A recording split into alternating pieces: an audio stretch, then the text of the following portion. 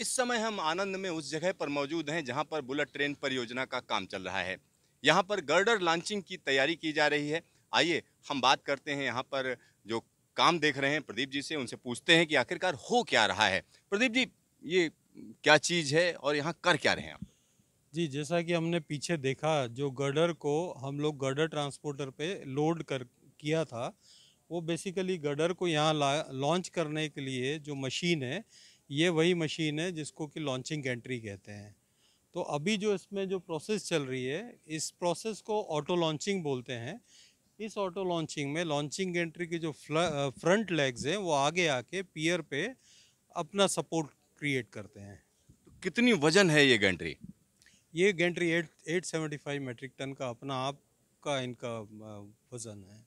Sir क्या इस पर कोई मौसम का भी असर होता है कि रोज आप काम करते रहते हैं ऐसे ही? जी नहीं इसमें पर्टिकुलरली विंड विंड का काफ़ी एक ध्यान रखना होता है और अगर wind speed 20 metre per second से अगर ज़्यादा हो तो हम इसमें वर्क नहीं करते हैं। अदरवाइज़ ये अनसेफ हो जाता है।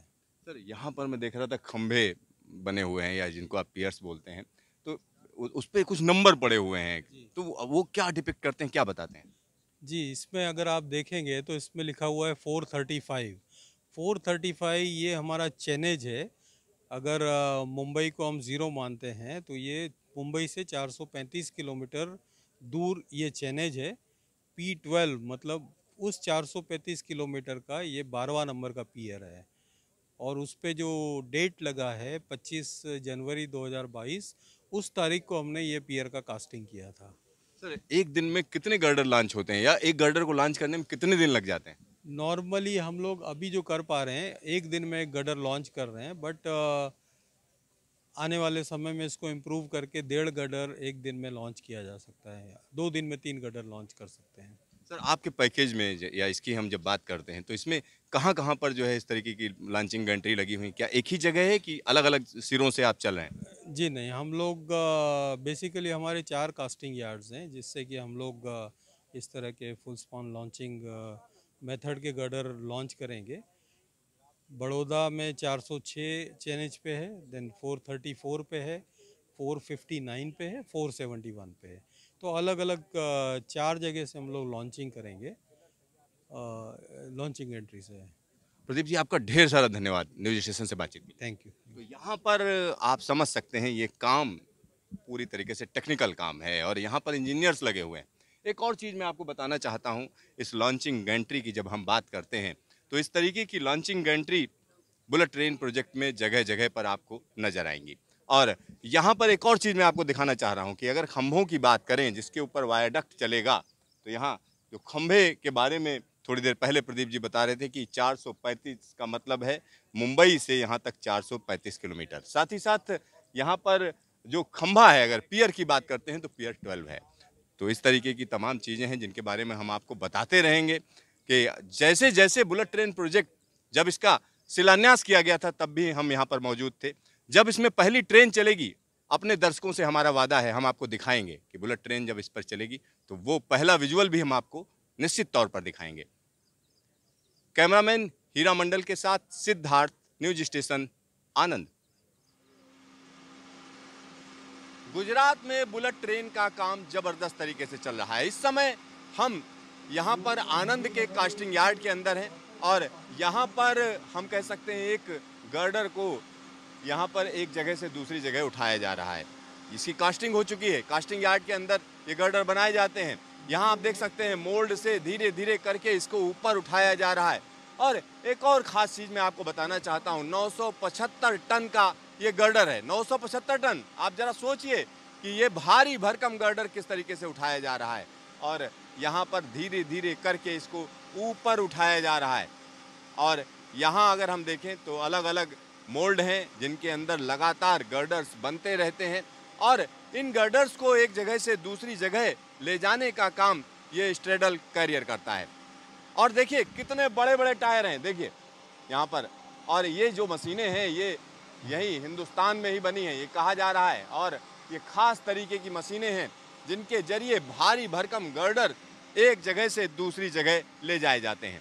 यहाँ पर आगे की अगर हम बात करें तो आगे आप देख सकते हैं, ढेर सारे मोल्ड हैं, जिनमें लगातार स्टील या हम कह सकते हैं, सरिया डाला जा रहा है और सरिया डालकर उनको कहीं ना कहीं तैयार किया जा रहा है। यहाँ पर आप मोल्ड देख सकते हैं कि किस तरीके से मोल्ड तैयार किए जा रहे हैं। जरा दिखाइए, उधर ढेर सारे मोल्ड बन रहे हैं। और ये मोल्ड तैयार करने का काम चल रहा है। तो यहाँ कास्टिंग यार्ड के अंदर हम कह सकते हैं कि अलग अलग मोल्ड्स भी आप देख सकते हैं कि किस तरीके से यहाँ पर मोल्ड्स तैयार किए जाते हैं।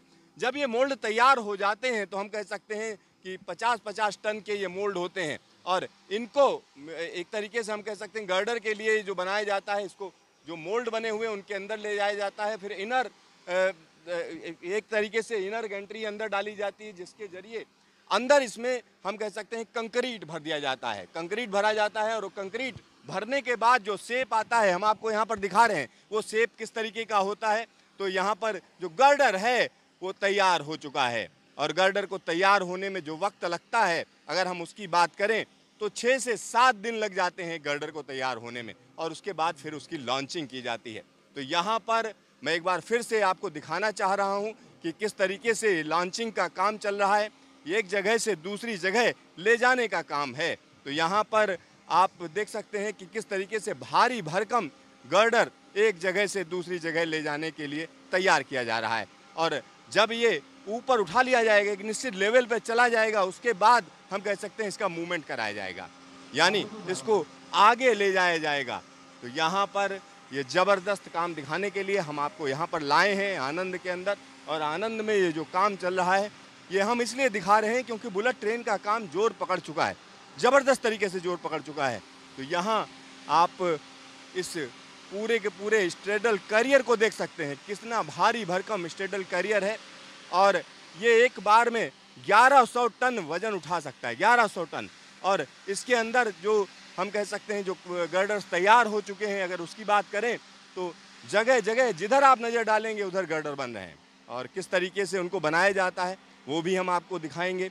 और कैसे उनको ऊपर रखा जाता है, वो भी हम आपको दिखाएँगे। क्योंकि पास में ही यहाँ पर ट्रैक आप देख सकते हैं कि किस तरीके से यहाँ पर ट्रैक बनाया जा रहा है, जिसमें पियर्स बन चुके हैं। और उसके ऊपर हम कह सकते हैं वायाडक्ट लॉन्चिंग का काम चल रहा है। वायाडक्ट लॉन्चिंग का काम चल रहा है और पूरा दबाव है इस समय सरकार का कि जो भी जिन कंपनियों को ये काम दिया गया है, वो समय पर पूरा करें। क्योंकि 2026 में ट्रायल होने हैं। उसकी पूरी तैयारी चल रही है। अब यहाँ निश्चित तौर पर कहा जा सकता है गुजरात और महाराष्ट्र, जल्द ही महाराष्ट्र के तमाम इलाकों में भी काम शुरू होगा। गुजरात में फुल फ्लेश तरीके से काम चल रहा है और यही काम दिखाने के लिए हम आपको इस कास्टिंग यार्ड के अंदर लाए हैं। कैमरामैन हीरा मंडल के साथ Siddharth, news station casting yard Anand. इस समय हम आनंद में हैं। आनंद में हम आपको क्या दिखा रहे हैं? आनंद में बुलेट ट्रेन का काम दिखा रहे हैं। बुलेट ट्रेन प्रोजेक्ट का जो काम चल रहा है, ज़बरदस्त तरीके से चल रहा है। यहाँ पर गर्डर लॉन्चिंग का काम चल रहा है। और गर्डर लॉन्चिंग आखिरकार होती कैसे है? किस तरह से की जाती है? क्योंकि एक खास तरीके का व्हीकल आपके दिख रहा होगा। यहाँ पर ढेर सारे पहिए ही पहिए हैं। 216 पहिए यहाँ से वहाँ तक आपको नज़र आ रहे होंगे। जिधर देखिए पहिए ही पहिए। आखिरकार ये गाड़ी या ये व्हीकल क्या काम करता है? किस तरीके से इसका यूज़ होता है? इन सब पर बातचीत करने के लिए हमारे साथ इसके ऑपरेटर हैं। आइए उन्हीं से हम बात करेंगे उनसे जानने की कोशिश करेंगे कि आखिरकार होता क्या है। क्या नाम है भाई साहब आपका? मेरा सर मुन्ना है। तो मुन्ना जी यहाँ पर जो ये हो रहा है इसके बारे में जानना चाह रहे हैं हमारे दर्शकों को बताइए कि आखिरकार कर क्या रहे हैं इतना भारी भरकम गर्डर और ब्रिज गेंट्री पे लेके घूम रहे हैं? घूमने सर ये अभी हमारा ये ब्रिज गंट्री जो है ये हम इसको लोड करके और इसको हम एलजी के पास लेके जाएँगे। अच्छा। वो यहाँ पर लोड करेंगे इसको? इसको हम लोड करेंगे। उसके बाद में हम लोग एलजी के पास ले जाएँगे। वहाँ पे अनलोड होता है।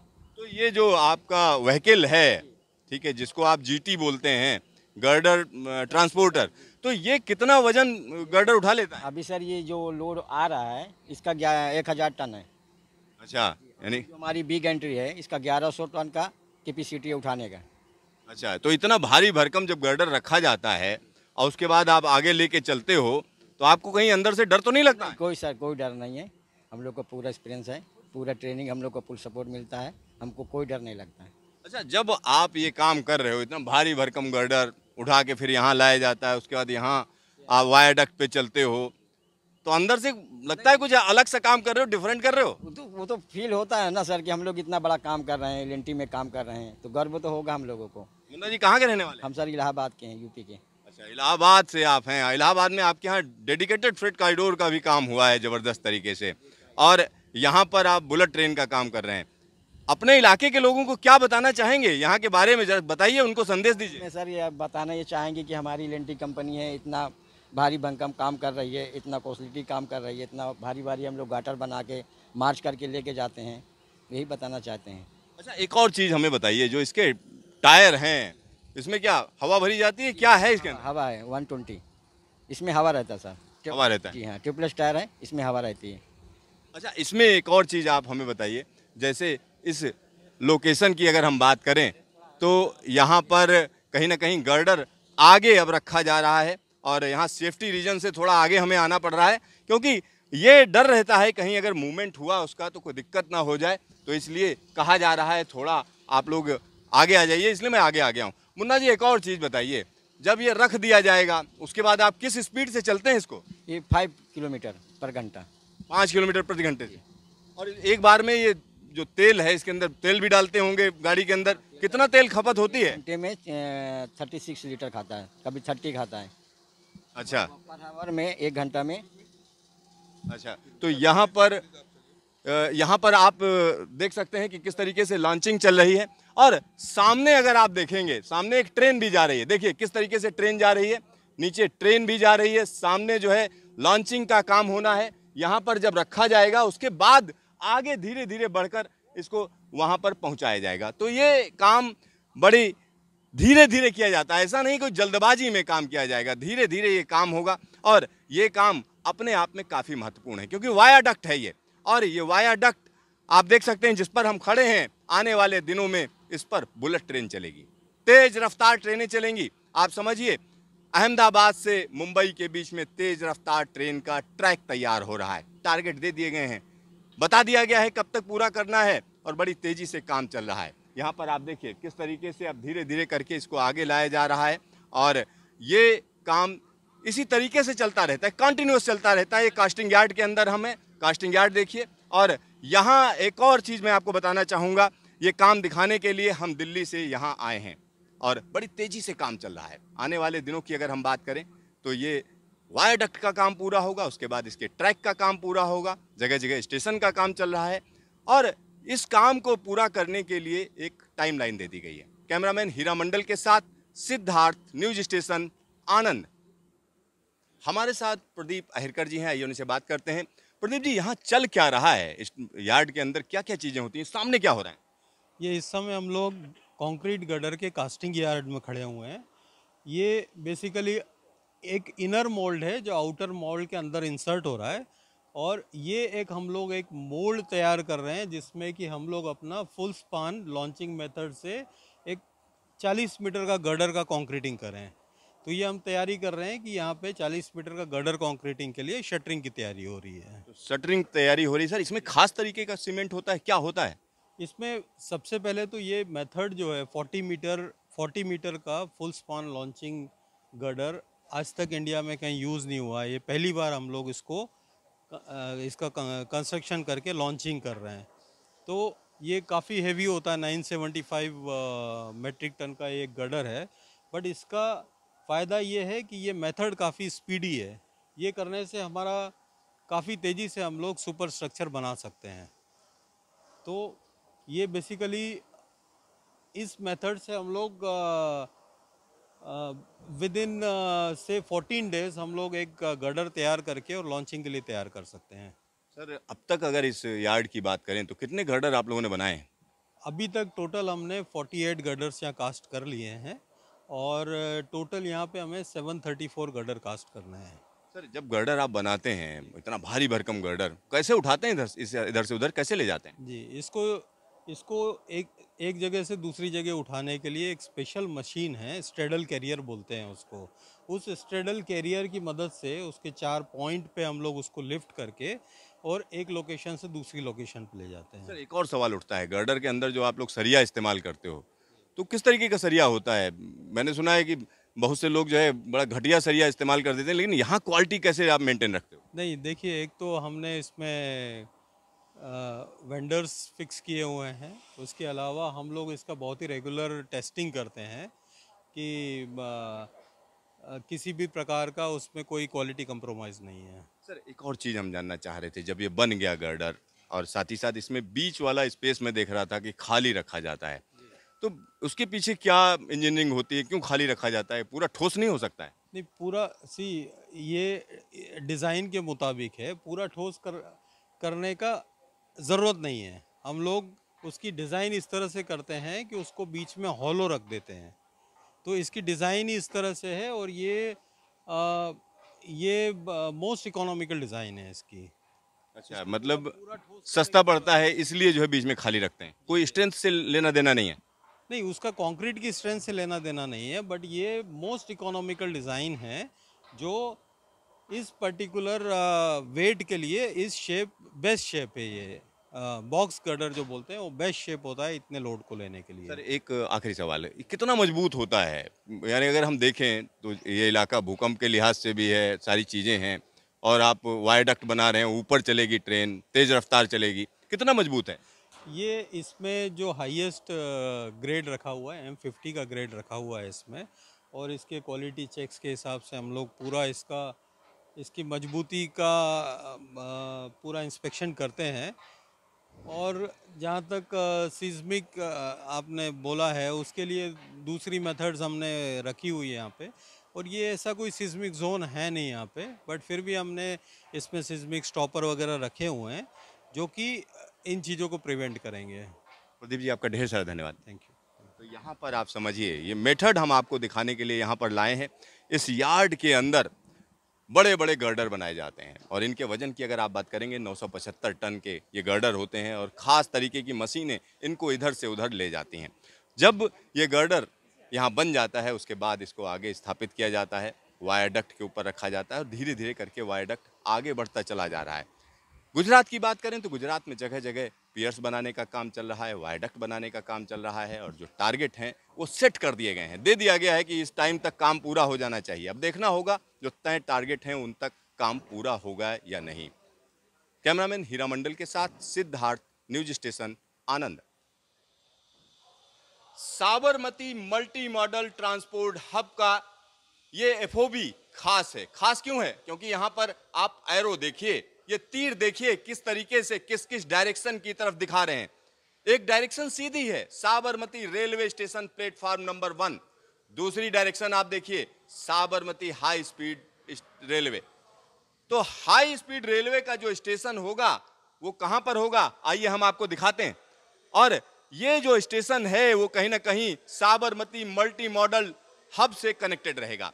और इस समय अगर हम बात करें तो साबरमती मल्टी मॉडल हब कहीं ना कहीं सेप लेने लगा है, एक आकार ले रहा है। और यहाँ पर जो पास की जगह है, अगर हम उसकी बात करें तो यहाँ आप देख सकते हैं कि किस तरीके से रेलवे स्टेशन है और उसी के पास में एक जगह है जहाँ पर हाई स्पीड रेलवे का स्टेशन बनेगा। हाई स्पीड रेलवे का स्टेशन बनेगा और जो बाउंड्री आप येलो कलर में देख रहे हैं, वो जगह हाई स्पीड रेलवे की है। यानी बुलेट ट्रेन का स्टेशन बनने जा रहा है। और यहाँ पर उसकी तैयारी हो चुकी है। आइए हम आपको दिखाते हैं कि किस तरीके का स्टेशन होगा। तो देखिए, ऐसा स्टेशन होगा जो एक फ़ोटो दी हुई है, इस तरीके का स्टेशन होगा। डिफरेंट होगा, बिल्कुल डिफरेंट होगा।